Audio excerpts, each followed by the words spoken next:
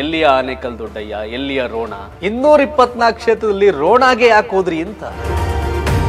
ಆನೇಕಲ್ ದೊಡ್ಡಯ್ಯ ಹೈಂದ ಮತದಾರರ ಒಬ್ಬ ವಾಯ್ಸರ ಆಗ್ಬಿಟ್ಟಿದ್ದೀನಿ ಹಂಗಾರೆ. ಖಂಡಿತ ಖಂಡಿತ ಸತ್ಯ. ಕಳಕಪ್ಪ ಬಂಡಿ ಮತ್ತೆ ಜಿ ಎಸ್ ಪಾಟೀಲ್. ಅವರಿಬ್ರು ನಡುವೆನೆ ಪಾರುಪತ್ಯ. ಈಸಿನಾ ಅಂತ? ಲಿಟ್ರಲಿ ಪಾಳ್ಯಗಾರಿಕೆ ಸಂಸ್ಕೃತಿ ಏನಾದ್ರು ಇದೆ ಅಂದ್ರೆ ನೀವು ರೋಣಾಗ್ ಬಂದ್ರೆ ಗೊತ್ತಾಗುತ್ತೆ.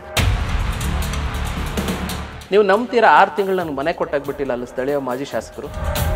ನಾನು ಯಾವುದಾದ್ರೂ ಒಂದು ಮನೆಗೆ ಹೋಗಿ ಅಡ್ವಾನ್ಸ್ ಕೊಟ್ಟು ಬಂದರೆ ಮನೆ ಕ್ಯಾನ್ಸಲ್ ಮಾಡಿಸೋದು. ಯಾಕೆ ಅಂದ್ರೆ ನೀವು ಅತಿ ಹೆಚ್ಚು ಮತದಾರ ಇರ್ತಕ್ಕಂಥ ಕುರುಬ ಸಮುದಾಯಕ್ಕೆ ಸೇರಿದವರು.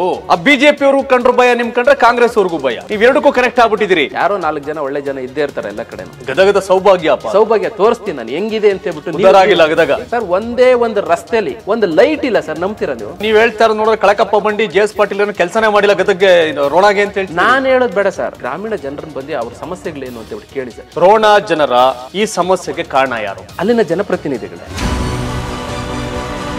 ಆಮ್ ಆದ್ಮಿ ಪಾರ್ಟಿ ದೆಹಲಿಯಲ್ಲಿ ಗೆದ್ದಿದೆ. ಕರ್ನಾಟಕ ಅಷ್ಟೊಂದು ಸಾಧ್ಯ ಅನ್ಕೊಂಡಿದ್ದೀರಾ? ನಾವು ಕೊನೆ ಪಕ್ಷ ಒಂದು ಐವತ್ತು ಸೀಟ್ ಆದ್ರೂ ನಾವು ಗೆದ್ದೇ ಗೆಲ್ತೀವಿ ಸರ್. ಏ ಅತಿಯಾದ ಆತ್ಮವಿಶ್ವಾಸ. ಹೆಂಗ್ ಸ್ವಾಮಿ ಐವತ್ ಗೆದ್ಬಿಡ್ತೀರಿ ನೀವು? ನಾನು ಉತ್ಪ್ರೇಕ್ಷೆ ಮಾತು ನಿಮ್ಮ ಹತ್ರ ಹೇಳಕ್ಕೆ ಇಷ್ಟಪಡಲ್ಲ. ನಾನು ಏನ್ ಕೆಲಸ ಮಾಡ್ತಾ ಇದ್ದೀನಿ ಅಂತ ಹೇಳ್ಬಿಟ್ಟು ನನಗೆ ಗೊತ್ತಿದೆ. ಎಲ್ಲಾ ರೀತಿಲೂ ಪ್ರಬಲರಿದ್ದೀರಿ ಜನ ಯಾಕೆ ಓಟ್ ಹಾಕ್ಬೇಕು ಆಮ್ ಆದ್ಮಿ ಪಾರ್ಟಿಗೆ? ಬಿಜೆಪಿ ತರ ನಿಮಗೆ ಅನೇಕ ಯೋಜನೆಗಳು ಚಿನ್ನದ ರಸ್ತೆಗಳನ್ನು ತೋರಿಸ್ತರು ಯಾವ್ದಾದ್ರು ಬಂದಿದೆ ಇಡೀ ದೇಶದಲ್ಲಿ? ಇವತ್ತು ಕಾಂಗ್ರೆಸ್ ಇನ್ನೂರು ಯೂನಿಟ್ ವಿದ್ಯುತ್ ಅನೌನ್ಸ್ ಮಾಡಿದಾರಲ್ಲ ಯಾರು ಮಾದರಿ ಸರ್ ಅದು? ದೆಹಲಿಯಲ್ಲಿ ನಾವು ಕೊಡ್ತಾ ಇರೋದನ್ನ ಕಾಪಿ ಮಾಡ್ತಾ ಇದ್ದಾರೆ. ಎಲ್ಲ ಕಡೆನೂ ಶಾಲೆಗಳ ಬಗ್ಗೆ ಮಾತಾಡ್ತಾ ಇದ್ದಾರೆ ಕುಮಾರಸ್ವಾಮಿ ಅವರು. ಎಲ್ಲಿಂದ ಅದು ಯೋಜನೆ? ದೆಹಲಿಯಲ್ಲಿ ನಾವು ಮಾಡಿ ತೋರಿಸಿರೋದನ್ನ. ಅಂದ್ರೆ ಅಲ್ಲಿ ಕೆಲಸ ಮಾಡಿರೋದಕ್ಕೆ ಕೆಲಸ ಮಾತಾಡ್ತಾ ಇದ್ದೆ ಡೂಪ್ಲಿಕೇಟ್ ಮಾಡ್ತಾವ್ರ ಕಾಂಗ್ರೆಸ್ ಅವ್ರಂಗಾರೆ. ಸತ್ಯ ಅದು, D K Shivakumar power minister ಆಗಿದ್ದಂತ ಸಂದರ್ಭದಲ್ಲಿ ಅದನ್ನ ಮಾಡಬಹುದಾಗಿತ್ತಲ್ಲ ಮಾಡ್ಲಿಲ್ಲ. ಈಗ ಯಾಕೆ ಮಾಡ್ತಾ ಇದ್ದಾರೆ? ಭಯ ಭಯ ಆಯ್ತಾ ಕಾಂಗ್ರೆಸ್ ಅವ್ರಿಗೆ? ಖಂಡಿತ ಇರ್ಬೋದು.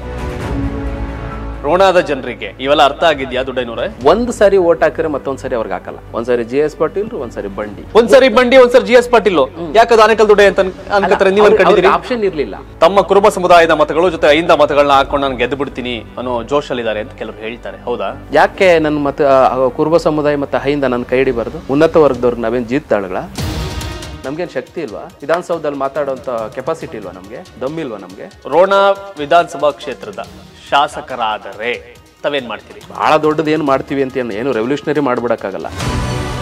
ಒಂದ್ ಇಪ್ಪತ್ತು ಹಳ್ಳಿ ಹೆಸರಳ್ಳಿ ಆ ಹಳ್ಳಿಗಳ ಸಮಸ್ಯೆಗಳು ಹೇಳಿ ಪದವಿ ಕಾಲೇಜ್ ಇಲ್ಲ ನೀವು ಲಿಟ್ರಲಿ ಕೆಳಕ ಬನ್ನಿ. ನನ್ ಸುಮ್ನೆ ಕತೆ ಹೇಳ್ತಾ ಇಲ್ಲ ನೀವು. ಬಿಟ್ಬಿಡಿ. ರೋಣಾದಲ್ಲಿ ಡಿಗ್ರಿ ಸರ್, ನನ್ ಕಾಲೇಜ್ ಇಲ್ಲ. ಬಿಟ್ಬಿಡಿ. ರೋಣಾದಲ್ಲಿ ನಾಳೆ ಡಿಗ್ರಿ ಎಲೆಕ್ಷನ್ ಕಾಲೇಜ್ ಇಲ್ಲ. ಇಲ್ಲಲ್ಲ ನಾಳೆ ಎಲೆಕ್ಷನ್ ಇಲ್ಲಲ್ಲ ಅಲ್ಲಿ degree ಸರ್ಕಾರಿ ಡಿಗ್ರಿ college ಕಾಲೇಜ್ ಇಲ್ಲ. ಇಷ್ಟು ವರ್ಷ ಗೆದ್ದವ್ರು ಏನ್ ಮಾಡೋರಲ್ಲಿ? ಅದೇ ನನ್ನ ಪ್ರಶ್ನೆ. ಅಂದ್ರೆ ರೋಣಾದಲ್ಲಿ ದೊಡ್ಡ ಡಿಗ್ರಿ ಕಾಲೇಜ್ ಮಾಡ್ಬೇಕು ನೀವು. ಇವತ್ತಿನ ಕಾಂಪಿಟೇಟಿವ್ ಯುಗಕ್ಕೆ ಒಂದು ಟೆಕ್ನಿಕಲ್ ಕಾಲೇಜ್ ಮಾಡ್ಬೇಕು ಅನ್ನೋದಿದೆ. ಜನ ಯಾಕೆ ಕೇಳಲಿಲ್ಲ ರೋಣಾದವರು? ಸುಮ್ಮನೆ ಹಾಕುತ್ತವ್ರೆ ಜನಕ್ಕೆ ಭಯದ ವಾತಾವರಣ ಇದೆ. ಏನ್ ಬಾ ಏನ್ ಕತ್ರಿಸಾಕ್ಬಿಡ್ತಾರೆ ಅವರು ನೀವು ಯಾರಾದ್ರೂ ಒಬ್ಬ ದೊಡ್ಡಯ್ಯನ ಹತ್ರ ಬಂದು ಫೋಟೋ ಹೊಡ್ಸ್ಕೊಂಡ್ರೆ ಬೆಳಗ್ಗೆ ಅವ್ನ ಮನೆಗೆ ಫೋನ್ ಹೋಗುತ್ತೆ ಅವ್ನ ತಾಯಿಗೆ ಹೋಗುತ್ತೆ ಅವ್ನ ತಂಗಿಗೆ ಹೋಗುತ್ತೆ ಅವ್ನ ಅಣ್ಣಂಗೆ ಫೋನ್ ಹೋಗುತ್ತೆ. ಪಾಪ ರೋಣ ಜನನೇ ಕೇಳಿಲ್ಲ ಅಡ್ಜಸ್ಟ್ ಮಾಡ್ಕೊಂಡು ಹೋಯ್ತವ್ರೆ. ಕಳಕಪ್ಪ ಬಂಡಿ ಅವರು ಜೆ ಎಸ್ ಪಾಟೀಲ್ ಆನೇಕಲ್ ದೊಡ್ಡವ್ರು ಕೇಳಿದ್ರು ಅವ್ರು ಇವೆಲ್ಲ ಮಾಡಿ ಅಂತ? ಅಲ್ಲನ್ನ ಇಬ್ರು ರಾಜಕಾರಣಿಗಳು ಕೈವಾಡ ಇದೆ. ಮುಂದಿನ ದಿನಗಳಲ್ಲಿ ಅದನ್ನ ಬಹಿರಂಗಪಡಿಸ್ತೀನಿ ಅದು ಏನಾಗಿದೆ ಅಂತ ಹೇಳ್ಬಿಟ್ಟು. ಜನ ಇವಕ್ಕೆಲ್ಲ ಬಲ ಕೊಟ್ರೆ. ನೀವ್ ಹೇಳ್ತಿರೋದಲ್ಲ ಸತ್ಯ ಆದ್ರೆ. ಸಮಸ್ಯೆ ಇರಬಹುದು ಸಮಸ್ಯೆನ ಅಡ್ಜಸ್ಟ್ ಮಾಡ್ಕೊಂಡ್ರೆ ರೋಣದವರು. ರೂಲಿಂಗ್ ಪಾರ್ಟಿ ಇದ್ದೂನು ಕೆಲಸ ಮಾಡಿಲ್ಲ ಅಂದ್ರೆ ಇವರು ಸಮರ್ಥ ಅಸಮರ್ಥರ ಅಂತ ಹೇಳ್ಬಿಟ್ಟು ಜನ ತೀರ್ಮಾನ ಮಾಡ್ತಾರೆ. ಕೆಲಸ ಮಾಡಿಲ್ಲ ಅಂದ್ರೆ ಪೂಜೆ ಮಾಡ್ಕೊಂಡವ್ರು ಕೆಲ್ಸಕ್ಕೆ ಬರ್ತಾರೆ. ಆ ಜನರ ಕಷ್ಟ ಕೇಳುವಂತ ಒಂದು ಪ್ರಯತ್ನ ಪಡ್ತಾ ಇದ್ದೀವಿ. ಅಲ್ಲ ಸರ್ ಸಿದ್ದರಾಮಯ್ಯನವರು ಕುರುಬ ಕಮ್ಯುನಿಟಿ ಅವರು ಮುಖ್ಯಮಂತ್ರಿ ಆಗ್ತಾರೆ ಅಂತ ಅವ್ರು ಕಾಂಗ್ರೆಸ್ ಕೊಟ್ಟಾಕಲ್ವಾ ಕುರುಬ್ರಲ್ಲ ನಿಮ್ಗೆ ಆಗ್ತಾರ ಒಟ್ಟು? ಸಿದ್ದರಾಮಯ್ಯನವ್ರು ಒಬ್ಬರು ಮುಖ್ಯ ಎಂ ಎಲ್ ಎ ಆಗ್ಬಿಟ್ರೆ ಸಾಕ? ಇನ್ನು ಉಳಿದವ್ರು ಯಾರು ಆಗ್ಬಾರ್ದಾ? ಎಷ್ಟು ಓಟ್ ಬರುತ್ತೆ ನಿಮ್ಗೆ? ಹಂಡ್ರೆಡ್ ಪರ್ಸೆಂಟ್ ಗೆಲ್ತೀವಿ ಸರ್. ನೀವು ಇದೇ stu- ಇದೇ ಸ್ಟುಡಿಯೋದಲ್ಲಿ ನೀವು ಕರೆದು ನಾನು ಮಾತಾಡ್ತೀರಾ ಸರ್ ಹಂಡ್ರೆಡ್ ಪರ್ಸೆಂಟ್ ನಾನು ಇಲ್ಲಿ ರೋಣ ವಿಧಾನಸಭಾ ಕ್ಷೇತ್ರದಲ್ಲಿ ಕೇಳ್ತೀನಿ ನನಗೆ ಆ- ಭರವಸೆ ಇದೆ. ಕೇಜ್ರಿವಾಲ್ ಬರ್ತಾರ ಪ್ರಚಾರಕ್ಕೆ? ಖಂಡಿತ ಒಂದ್ಸರಿ ಅಂತೂ ನಾನು ರೋಣ ವಿಧಾನಸಭಾ ಕ್ಷೇತ್ರಕ್ಕೆ ಬರ್ತಾರೆ.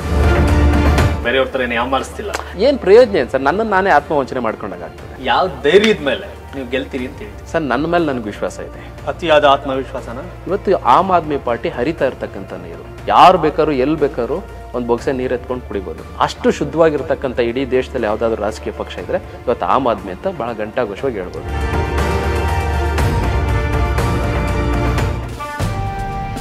ಪಂಜಾಬಲ್ಲಿ ಆಪ್ಕೆ ಬಾರಿ ದಿಗ್ವಿಜಯ. ಗುಜರಾತ್ ಅಲ್ಲೂ ಕೂಡ ಮೂವತ್ತಾರು ಕಡೆ ರನ್ನರ್ ಅಪ್ ಒಂದ್ ಐದ್ ಕಡೆ ಗೆದ್ರು. ಈಗ ಕರ್ನಾಟಕದ ಸರದಿ, ಕರ್ನಾಟಕದಲ್ಲೂ ಕೂಡ ಒಂದಷ್ಟು ನಿರೀಕ್ಷೆ, ಲೆಕ್ಕಾಚಾರ. ಇಲ್ಲೇನೋ ಬೇರೆ ಏನೋ ಮ್ಯಾಜಿಕ್ ಮಾಡ್ಬಿಡ್ತಾರೆ ಅನ್ನೋದಿಲ್ಲ. ಕ್ಯಾಂಡಿಡೇಟ್ ಕೆಪಾಸಿಟಿ ಇದ್ರೆ ಪಾರ್ಟಿ ಚಿಹ್ನೆ ಮೇಲೆ ಚುನಾವಣೆಗಳು ಆಗ್ತವೆ ಯಾರೋ ಬಂದು ಅಲೆಯಲ್ಲಿ ನಾವು ಗೆದ್ದು ಬಿಡ್ತೀವಿ, ವಿಧಾನಸೌಧ ಮೆಟ್ಲತ್ತೀವಿ ಅಂದರೆ ಅವ್ರ ಭ್ರಮೆ. ಅದೇನೂ ಮಾಡೋಕ್ಕಾಗಲ್ಲ. ಕರ್ನಾಟಕದಲ್ಲೂ ಕೂಡ ಆಪ್ ಒಂದಷ್ಟು ಲೆಕ್ಕಾಚಾರ ಇಟ್ಕೊಂಡು ಕೂತಿದೆ. ಈಗ ನನ್ನ ಜೊತೆ ಮಾತಾಡಲಿಕ್ಕೆ ಗದಗ ಜಿಲ್ಲೆಯ ರೋಣ ವಿಧಾನಸಭಾ ಕ್ಷೇತ್ರದ ಆಮ್ ಆದ್ಮಿ ಪಕ್ಷದ ಬಹುತೇಕ ಸಂಭಾವ್ಯ ಅಭ್ಯರ್ಥಿ, ಬಹುತೇಕ ಅವರ ಫಿಕ್ಸ್ ಆನೇಕಲ್ ದೊಡ್ಡಯ್ಯನ ಜೊತೆ ಇದ್ದಾರೆ. ಸರ್, ನಮಸ್ಕಾರ. ಕಾರ್ಯಕ್ರಮಕ್ಕೆ ಸ್ವಾಗತ. ನಮಸ್ತೆ ನಮಸ್ತೆ ಸರ್, ನಮಸ್ತೆ.